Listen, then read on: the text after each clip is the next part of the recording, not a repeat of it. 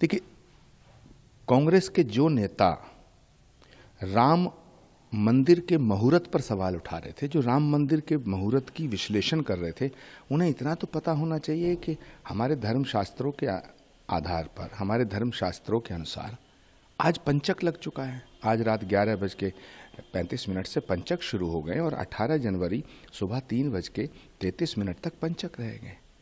तो पंचकों में कोई शुभ कार्य नहीं किया जाता है। और पंचक में इस यात्रा को शुरू कराया जा रहा है।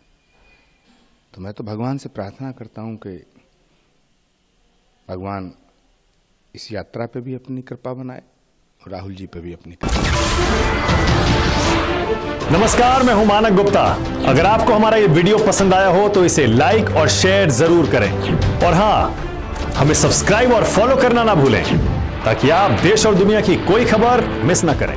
तो जुड़े रहिए हमारे साथ और देखते रहिए न्यूज़ 24